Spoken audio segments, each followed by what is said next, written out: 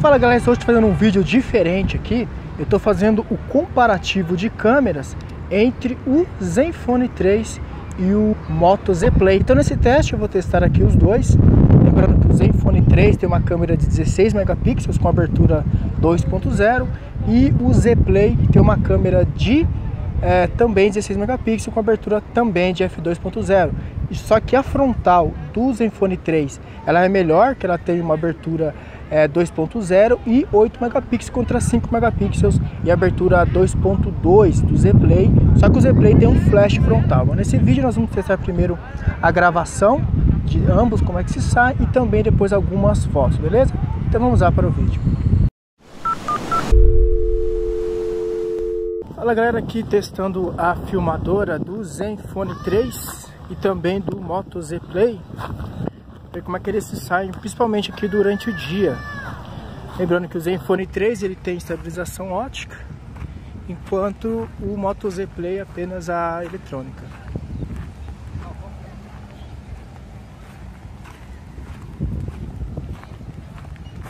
Isso aqui dá uma andadinha rápida para nós termos uma ideia.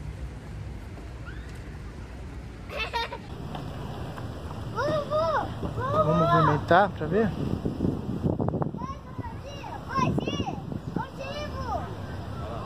Dia está bem iluminado, então problema com iluminação não vai ter aqui nos dois.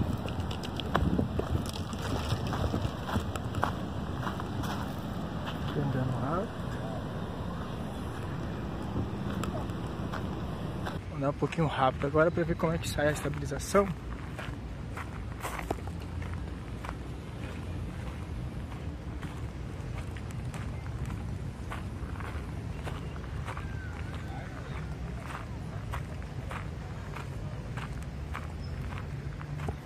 Ao que parece.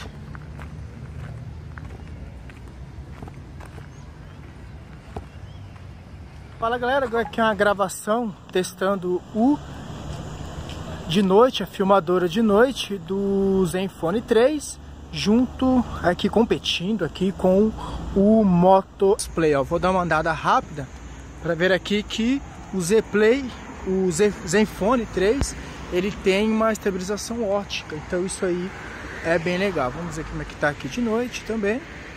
Pra vocês terem uma ideia. Embora a lente do do Moto Z Play parece ser uma lente que dá um pouco mais aí de claridade, né? Mas no geral é, dá para ter uma ideia aí de gravação. Parece ser mais limpa também na né, gravação no Zenfone 3.